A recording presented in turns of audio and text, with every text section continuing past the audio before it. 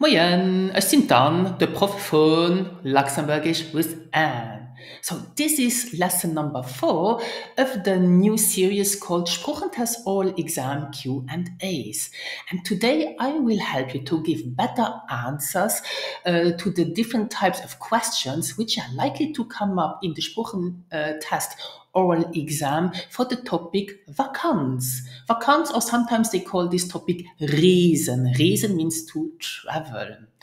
So you will not only learn to give better answers, but you will as well learn uh, to understand the questions the examiner is likely to ask you. So you, um, I will give you tips how to better understand spoken Luxembourgish. I will give you as well tips about um, grammar, pronunciation, vocabulary, so useful vocabulary you can uh, use to make your answers um, more detailed, more interesting. Yeah? So, so as a success coach, I focus on helping my students so you get results. So my aim is to work with you and ensure that you develop the language skills you need to pass the Sproochentest. So, bist du bereit? Are you ready? Dann lass. So, hier ist Frage Nummer 1. Wie oft geht ihr an Vakanz? So listen carefully how this uh, question sounds. Wie oft geht ihr an Vakanz? So you won't hear wie oft geht dir, but you will hear geht ihr.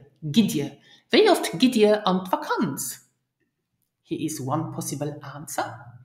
Gewöhnlich gehe ich zweimal die Jahr an Vakanz. Und zwar am Sommer und am Winter. Am Sommer besiche ich meine Familie in Russland und am Winter gehe ich an den Wintersport. Ich wiederhole. Gewöhnlich gehe ich zweimal die Jahr an die Vakanz. Und zwar am Sommer und am Winter. Am Sommer besiche ich meine Familie in Russland und am Winter gehe ich an den Wintersport. Another possible answer. Also, ich gehe ungefähr zwei bis dreimal die Jahr an die Vakanz. Normalerweise reise ich zwei Wochen am Juli und zwei Wochen am Dezember. An einmal die Jahr verbringe ich gerne ein langes Weekend an einer Stadt, zum Beispiel zu Paris oder Madrid oder London. Okay, so use here uh, adverbs like normalerweise or uh, to illustrate what you want to say, you can use zum Beispiel, pronounce it zum Beispiel, for example.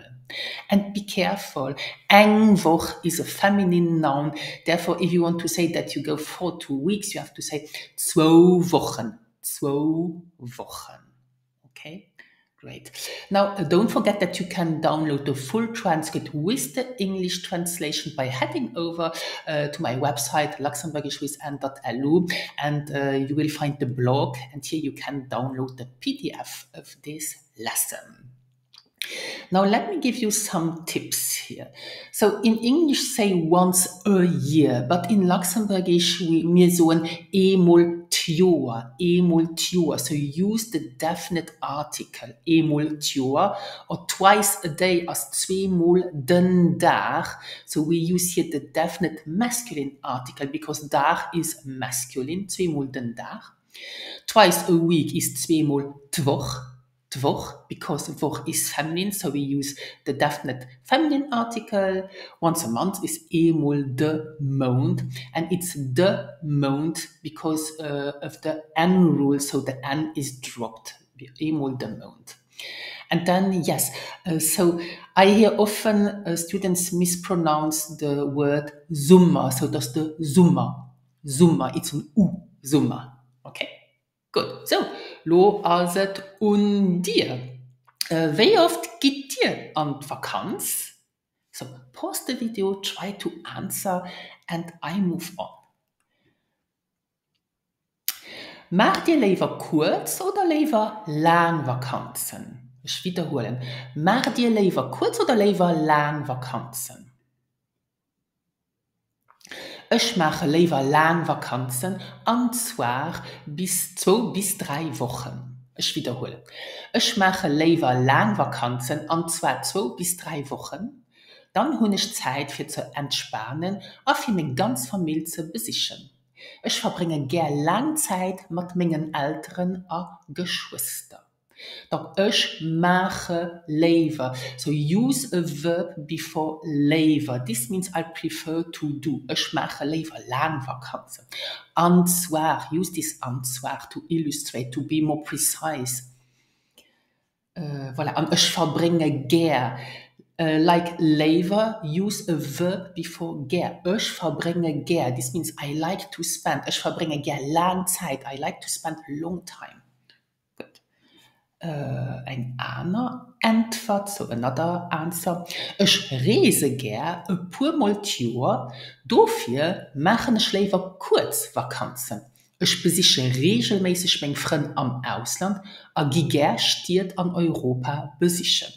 Tlacht Joer war ich zu Barcelona an zu Lissabon. Again, reise ger use a verb before ich reise ger e pumol Joer dofir machen ich lever kurz Vakanzen. Tlacht Joer pronounce it tlacht Joer last hier. So here again I um, uh, repeat, I prefer doing something. You have to use the for I, and then your verb, this is the action, and then you add lever. Okay, donc, ich reise lever. Ich gehe lever. Ich gehe lever. Ich gehe. Dafür machen. Be careful. Here we start with dafür. Then you have to put your verb followed by the subject and then lever. Dafür machen ich lever. Okay? So, lo as et un dir, Mar dir lever kurz oder lever lang Vakanzen. Um, die lächt froh the last question wat motiviiert ihrch fir ze resen wat motiviiert Dich fir ze resen oder wat ass er Motivation fir ze resen eng meiglech antwort one possible answer. Meng Famill wohnt a Griechenland an ech reese ger fir sie ze besichen. Ech verbringen all meng Vakanzen a Griechenland bei ménger Famill. Do kann ich och rachten a mech erhoelen. Meng Famill wohnt a Griechenland an ech reese ger fir sie ze besichen. Ech verbringen all meng Vakanzen a Griechenland bei ménger Famill. Do kann ich och rachten a mech erhoelen. Eg aner méiglech entwert ass, Ech fuhren an Vakanz fir Äner Länner oder Stiert ze besichen a fir hier Kultur kennen ze leieren. Ech fannnen et immens interessant mat Lokalleit ze schwätzen a fir d Natur ze entdecken. So whenever you use fear, you need to use to before your second verb, which comes at the end at the infinitiv. Dat ich fuhren an Vakanz fir Äner Länner oder stiert ze besichen, a fir hier Kultur kennen ze leieren. So don't forget this to. And I will repeat the last sentence. Ech fanne net immens interessant. Ech fanne net immens interessant, mat lokal Leiit ze schwätzen a fir d Natur ze entdecken. So, an lo ass et un Dir, wat motiviiert Ich fir ze resen? Hm? Try to think about an, an interesting answer.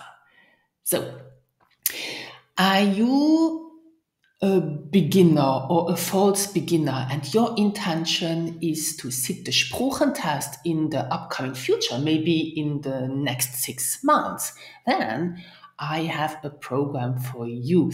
So from zero to Sproochentest is a program I have created um, so that you get results in six months. Inside the program, you will get missions, a big mission, and then mini missions to accomplish. You have monthly progress challenges, so to keep you motivated. With this program, you will stay motivated from the beginning until you reach uh, the language exam preparation phase. From Zero to Sproochentest is a great course because it is a hybrid course. It combines self-study, so you study every day at home on your own with, of course, a lot of course materials and support. And then you join a weekly speaking sessions where you can practice what you have learned during the week. Now, uh, you can learn more about this program by watching the exclusive presentation. I have put the link uh, below this video. So maybe I will see you inside this course. So, merci fürs Gucken. Thank you for watching. Adi.